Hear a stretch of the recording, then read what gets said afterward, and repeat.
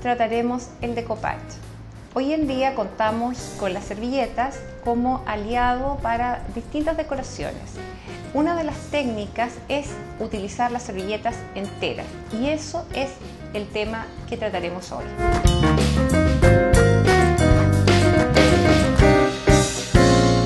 Para comenzar tenemos que preparar la superficie que vamos a trabajar. En esta oportunidad vamos a hacer una caja y lo que, estamos, lo que ya tiene aplicado es una imprimación, o sea, le hemos puesto una capa de imprimante y aquí les mostraré cómo estoy terminando el proceso. El imprimante se aplica a toda la superficie, se deja secar o se seca con secador si necesitamos apurar el proceso y pasamos lija, de manera de obtener una superficie suave que nos permitirá recibir de mejor forma la servilleta que vamos a aplicar posteriormente. Ahora ya tenemos seca nuestra superficie y lo que nos toca hacer es lijar. Pasaremos, ¿no es cierto?, una lija por todos los costados de manera tal de que nos quede suave al tacto. Retiramos con un trozo, puede ser de toalla, de papel absorbente, el polvo que puede haber sido emanado de la lija, del proceso de lijado, y estamos listos para aplicar el producto que les voy a mostrar hoy día. Es una técnica bastante innovadora y muy poco conocida. Se trata del termoadhesivo. Lo que eh, la mayoría de las personas tienen la dificultad para pegar servilletas en forma entera, que es el proceso que vamos a realizar hoy día, es que se arruga y se rompe. Y lo que provoca eso es el agua de los pegamentos. Este pegamento, a diferencia de los otros, como su nombre lo dice, termoadhesivo, funciona con temperatura.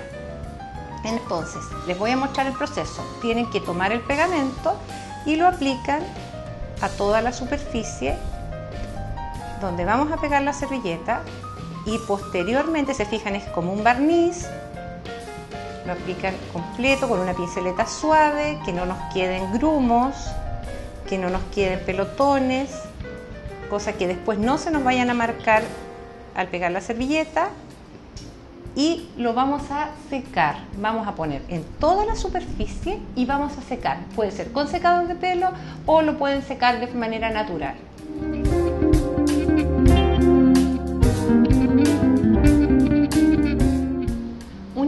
Que tengamos el pegamento ya seco, les recomiendo que a contraluz comiencen a mirar toda la superficie y si hay alguna esquina, alguna parte que no tenga el pegamento, lo van a notar inmediatamente, no va a tener brillo. Si no tiene pegamento, no va a pegar. Entonces es indiscutible. Ahora, si se fijan, esto está completamente seco, o sea, yo puedo poner mi mano, no se me moja. Procedemos a sacar las capas de la servilleta que no vamos a usar, ¿no es cierto? Y son dos. Son dos capas y nos quedamos, nos vamos a quedar solo con la capa de diseño que es con la que vamos a trabajar. Entonces, lo primero que también les recomiendo es que pasemos la plancha sobre la servilleta para estirar las líneas que son las líneas del doblez del envasado, las que vienen de fábrica. Entonces de esa forma vamos a suavizar un poco. Y esta es la plancha de la casa que se usa sin vapor, solamente calor. Entonces, ¿qué voy a hacer? Voy a poner mi caja y voy a ubicar lo que yo deseo que se pegue.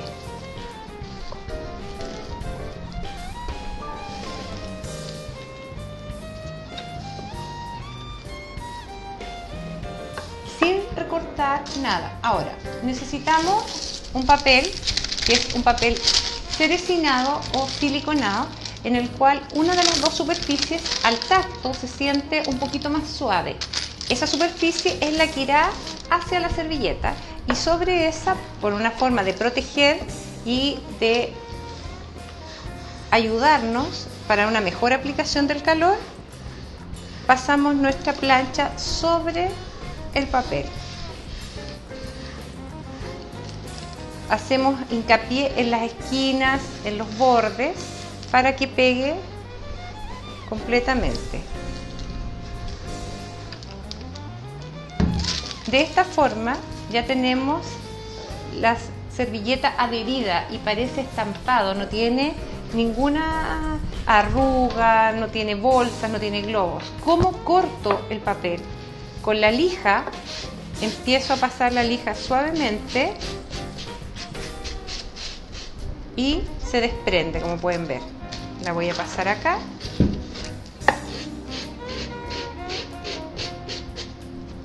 Vamos girando. No tengo que cortar antes el papel, no, necesito sino que queda perfecto al momento que... Aquí no quiero cortarlo porque lo voy a pegar directamente. Damos toda la vuelta. Y ya tenemos dos costados. Voy a seguir de igual forma por los otros dos costados, seguir pegando.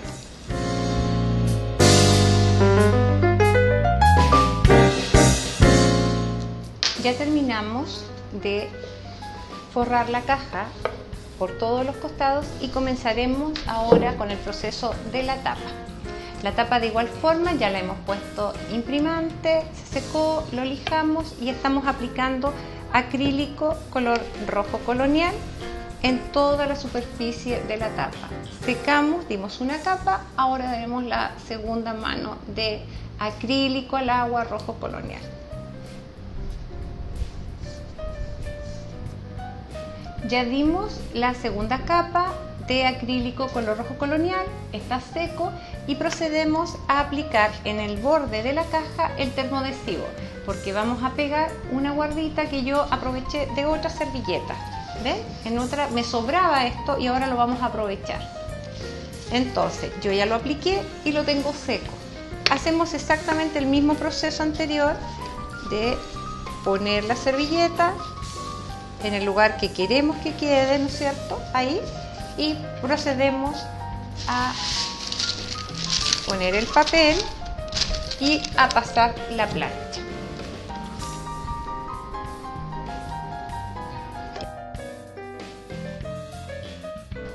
Ahora que lo tenemos ya pegado, vamos a pasar la lija. De la misma forma anterior, pasando por el canto de la caja y se nos va despegando, cortando de esta forma. Es muy fácil y no tenemos que estar recortando. Después que ya la tenemos así, volvemos a pasar suavemente para sacar los residuos que nos pudiesen haber quedado y tenemos nuestra tapa. ¿Ven? De esta forma. ¿Qué es lo importante el paso que ahora vamos a dar?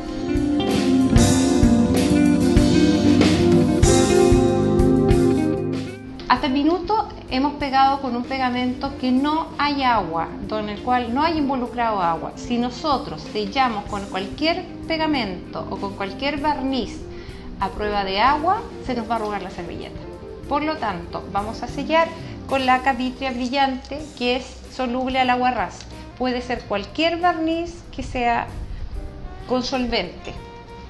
Yo voy a aplicar, yo recomiendo que siempre que vayan a usar la laca vitria, viertan un poquito en un pocillo y pongan la contratapa y la tapa inmediatamente para que no tengan problemas después de que se les seca o se les forma una película. Eh, muchas personas usan la laca vitria en vez de resina porque al ponerla en más de dos capas, de dos a tres capas, deja un aspecto muy vidriado. Lo aplican de esta forma y sellan y no se les arruga la servilleta. Pues bien, hemos terminado con la caja y vamos a comenzar el mismo proceso. Aplicaremos la laca vitria sobre la tapa. Acá tenemos la tapa. Empezamos por la servilleta y también vamos a ir aplicando en la parte de la pintura.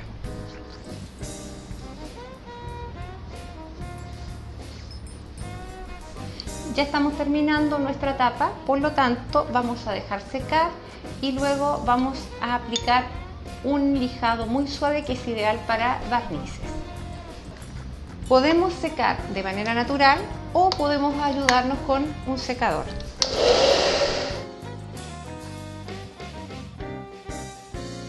Tenemos nuestra caja seca. ¿Qué es lo que les recomiendo? Recomiendo que lijemos entre capa y capa. Esto nos dará un acabado mucho más profesional, una superficie que va a quedar como los muebles antiguos que se pasaban, a ver, para que seamos la verdad, unas 10, 15 capas de barniz. No vamos a hacer eso, pero por lo menos tres capas. Y entre esas tres capas vamos a lijar con una lija 1500, que es una lija muy suave, muy muy suave, que es para barnices. Puede ser la 1000 o la 1500. Y lijamos en redondo. ¿Qué es lo que conseguimos con esto? Que los poros que están en suspensión en el aire y se adhieren a los barnices, los eliminemos. Esa es la, esa es la intención que tenemos al usar la lija. Entonces, en forma redonda, en forma circular, empiecen a pasarla de manera tal que podamos borrar todos los poritos y volvemos a dar otra capa más. Les recomiendo también que entre capa y capa, si no lo apuran, dejen pasar unas 4 horas y con eso va a estar va a ser suficiente para que podamos dar la siguiente. Podamos lijar primero y dar la siguiente. Entonces, vamos nuevamente. Yo ya tengo, si lo tocan al tacto, ustedes van a notar inmediatamente la diferencia que está suave aplicamos, recuerden, siempre poner la tapa y sello, mantener cerrado y volvemos a pasar idealmente tres capas y les va a quedar como si hubieran aplicado resina. Una vez que hayamos terminado de poner la tercera capa de barniz, dejamos secar y esperamos para dar nuestra última vez el lijado de las partículas de polvo que se nos pueden haber adherido. Entonces, cuando ya lo tenemos todo seco, vamos a volver a ubicar en su lugar, ¿cierto? Nuestro indicador de objetos dentro de la cajita. Aquí esto sirve para aplicar, eh, para poner una tarjetita donde pongamos de qué, qué es lo que guardamos dentro. En particular, esta cajita es para CDs.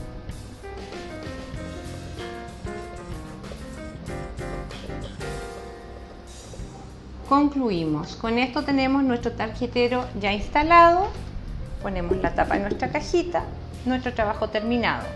Tanto por dentro como por abajo pintamos con el mismo color rojo colonial y podemos sellar con algún barniz al agua. No es necesario la laca vitria.